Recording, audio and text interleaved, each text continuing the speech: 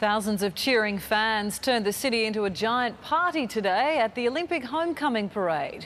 Under perfect skies, it rained green and gold as the CBD came to a standstill.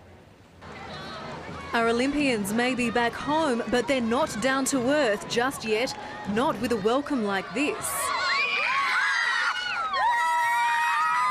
Sydney put on a stunning spring day as tens of thousands lined city streets for the first of the nation's homecoming parades.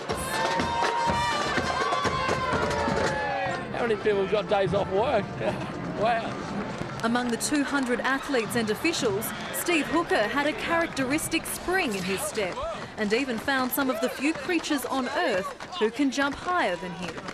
Oh, this is so much fun. Um, so many people out here cheering us on, lots of kids and all that sort of stuff, so it's just amazing.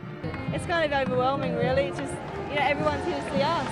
As ticker tape rained from office buildings above, our own Madam Butterfly was lapping up the occasion. It's amazing. It's just blown away. Blown me away here today just to see everyone out here supporting us, you know, taking time out from school or work just to come down. It's wonderful. For the tens of thousands of fans here who wheeled the athletes home from the comfort of their living room, today was an opportunity to show their appreciation in person. Very exciting. I wouldn't miss it for anything, and I'm very proud of the girls and the boys. Oh, they love the Olympics, so I told them they could have the day off to come and cheer the Olympians on. The parade culminated in a ceremony at Town Hall where our athletes were still busy collecting silverware. To be able to walk up George Street and have the whole of, the, of Sydney, it seemed, supporting us was uh, absolutely phenomenal. And it won't end there. Celebrations will continue around the country into next week. Belinda Hagen, 10 News.